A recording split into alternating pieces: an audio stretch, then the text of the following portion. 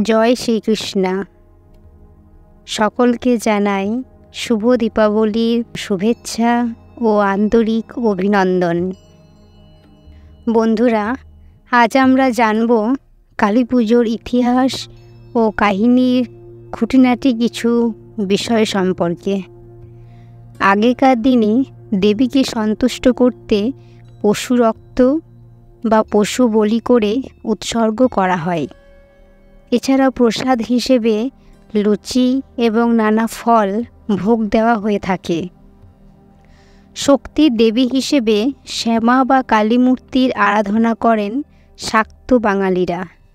হিন্দু শাস্ত্রে বলা রয়েছে, তন্ত্রমতে যেসব দেবদেবীদের পুজো করা হয়, তাদের মধ্যে কালী পুজো অন্যতম। বলা হয়, যারা সাধনা করে সিদ্ধি লাভ করতে চান তারা তন্ত্রমন্ত্র ক্ষমতায় বিশ্বাসী। মানুষরূপী ঐশ্বরিক ক্ষমতার অধিকারী হতে চাইলে নিষ্ঠা সহকারে কালী পুজো করে থাকেন। শক্তির আরাধ্য দেবী কালীর উগ্র ও ভয়ঙ্কর রূপ সৃষ্টির পেছনে আছে পৌরাণিক কারণ।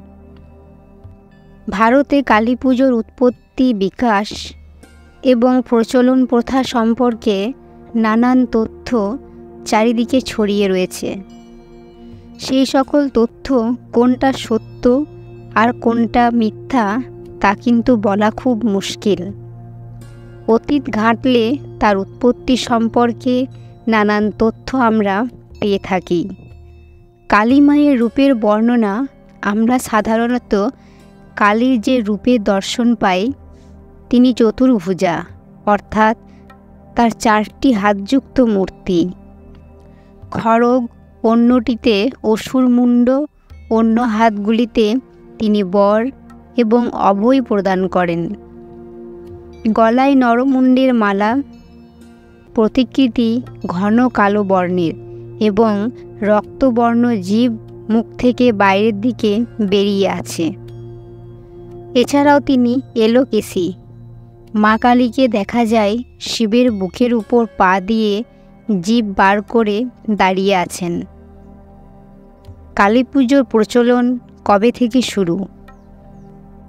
কালী পূজার কালী শব্দটি কাল শব্দের স্ত্রীর রূপ, যার অর্থ হল কৃষ্ণবর্ণ বা গুরুবর্ণ বিভিন্ন পুরাণ থেকে পাওয়া তথ্য অনুযায়ী মহামায়া মা দুর্গার অন্য একটি রূপ হল কালী। প্রাচীন গ্রন্থে পাওয়া তথ্য অনুযায়ী, কালী একটি দানবীর রূপ। মহাভারতে কালের উল্লেখ রয়েছে। সেখানে যোদ্ধা এবং পশুদের আত্মা বহন করেন যিনি। সেই তিনি কালরাত্রি কালী নামে পরিচিত। জানা যায়, নবদ্বীপের এক তান্ত্রিক যার নাম কৃষ্ণানন্দ। তিনি বাংলায় প্রথম কালীমূর্তি বা প্রতিমা পূজার প্রচলন করেন।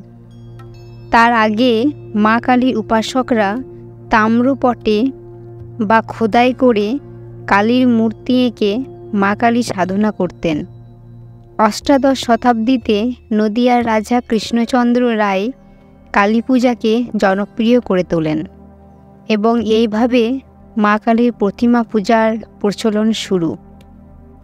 ঊনবিংশ শতাব্দীতে বাংলার বিভিন্ন ধনী জমিদারদের পৃষ্ঠপোষকতায় কালী পুজোর ব্যাপক প্রচলন শুরু হয়। কালীর একাধিক রূপ। পুরাণে দেবী কালীর একাধিক রূপের বর্ণনা পাওয়া যায়।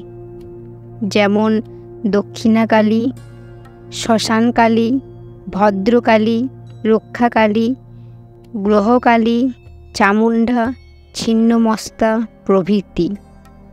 মহাকাল সংহিতা অনুসারে মা কালীর আবার নবরূপে পরিচয় পাওয়া যায়।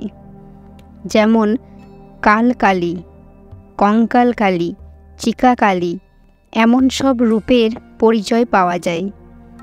এছাড়াও বিভিন্ন মন্দিরে ব্রহ্মময়ী, আনন্দময়ী, ভবতারিণী ইত্যাদি নামেও মা কালীর পূজা বা উপাসনা করতে দেখা যায়।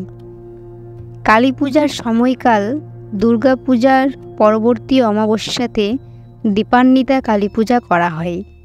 এছাড়াও মাঘ মাসে রটন্তী কালী পূজা এবং জ্যৈষ্ঠ মাসে ফলহারিণী কালী পূজা ধুমধাম করে অনুষ্ঠিত করা হয়। অনেক জায়গায় প্রতি অমাবস্যায়, এছাড়াও বিভিন্ন সিদ্ধ অমাবস্যায়, এছাড়াও বিভিন্ন সিদ্ধ পিঠে প্রতিদিন এবং প্রতি শনি ও মঙ্গলবার মা কালী পূজার প্রচলন দেখা যায়। পৌরাণিক কাহিনী। মা কালীর উৎপত্তির পৌরাণিক ব্যাখ্যা সনাতন ধর্মীয় শাস্ত্র অনুযায়ী মা কালীর আবির্ভাব সম্পর্কে যে তথ্য পাওয়া যায় তা হল পুরাকালী শুম্ভ এবং নিশুম্ভ নামক দুই দ্বৈত সারা পৃথিবী জুড়ে তাদের ভয়ঙ্কর ত্রাসের সৃষ্টি করেছিল। দেবতারাও এই দুই দৈত্যের কাছে যুদ্ধে আত্মসমর্পণ করে। ফলে দেবলোক তাদের হাতছাড়া হয়ে যায়। তখন দেবরাজ ইন্দ্র দেবলোক ফিরে পাওয়ার জন্য আদ্যশক্তি মা মহামায়ার তপস্যা করতে থাকেন। তখন দেবী সন্তুষ্ট হয়ে তাদের কাছে আবির্ভূত হন এবং দেবীর শরীরকোষ থেকে অন্য এক দেবী সৃষ্টি হয়, যা কৌশিকী নামে ভক্তদের কাছে পরিচিত। দেবী কৌশিকী মা মহামায়া দেহ থেকে নিঃসৃত হলে কালো বর্ণ ধারণ করে, যা দেবী কালীর আদিরূপ বলে ধরা হয়। কালী পূজার বিভিন্ন পদ্ধতি তান্ত্রিক পদ্ধতিতে মধ্যরাত্রে, অর্থাৎ অমাবস্যা রাত্রে মন্ত্র উচ্চারণের মাধ্যমে কালী পূজা করা হয়। আগেকার দিনে দেবীকে সন্তুষ্ট করতে পশু রক্ত বা পশু বলি করে উৎসর্গ করা হয়। এছাড়াও প্রসাদ হিসেবে লুচি এবং নানা ফল ভোগ দেওয়া হয়ে থাকে। গৃহস্থ বাড়িতে সাধারণত অতান্ত্রিক ব্রাহ্মণ মতে মা কালীর পূজা দেখা যায়। এক্ষেত্রে অনেক সময় জমিদার বাড়িতে ছাগ বা মহিষ ছাগল বা মহিষ বলি দেওয়া হতো। এবং বর্তমানেও অনেক জায়গায় পশু বলির মাধ্যমে পূজার প্রচলন দেখা যায়। পুরাকালে বা প্রাচীন সময়ে বিভিন্ন ডাকাতের দল নরবলির মাধ্যমে কালী পূজা করত বলে শোনা যায়। বন্ধুরা, সকলে খুব আনন্দের সঙ্গে দীপাবলি উৎসব পালন করুন ভালো থাকুন সুস্থ থাকুন। জয় শ্রীকৃষ্ণ। রাধে রাধে।